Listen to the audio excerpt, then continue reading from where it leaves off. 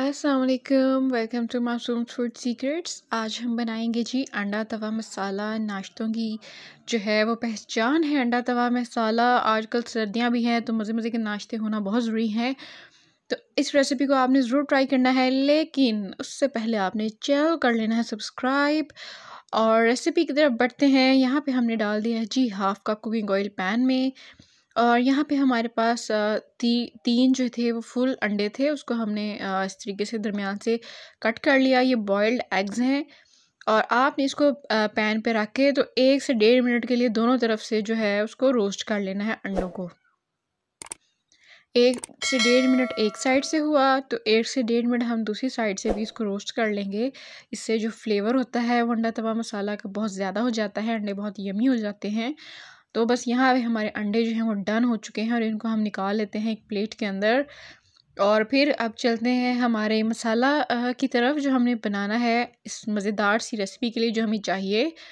तो यहाँ पे एक बड़े साइज़ का हमने प्याज लिया है। अगर आपके पास छोटे होंगे तो आप दो दरमिया साइज़ के प्याज लेंगे। और अब आपने यहाँ पे जो मेन बात है कि प्याज़ों को आपने कर लेना है गोल्डन ब्राउन अच्छे तरीके से, और यहाँ पे अब इसके अंदर कुछ ज़ीरा डाल देंगे। एक टीस्पून के करीब साबुत ज़ीरा डालेंगे। उससे फ्लेवर बहुत ज़्यादा हो जाता है, और एक टीस्पून अदरक, लहसुन का पेस्ट हमने ऐड किया। इनको आपने अच्छे तरीके से पका लेना है। अभी आप देख सकते हैं कि मसाला जो है वो ड्राई है। तो हम इसके अंदर अभी कुछ चीज़ें ऐड करेंगे। जैसे हमने हरी मिर्च ऐड की, एक अदर चॉप की हुई, और अब हरा धनिया जाएगा।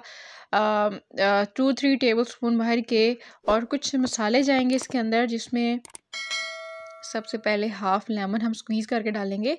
अगर आपको इमली अच्छी लगती है तो लींबू की जगह इमली आप ऐड कर सकते हैं। हाफ़ टी स्पून आप इसके अंदर रेड चिली पाउडर ऐड करेंगे। हाफ़ टी स्पून नमक जाएगा और ज़रा सी हल्दी जाएगी इसके अंदर। तो यही मसाले थे जो इसके अंदर जाने थे।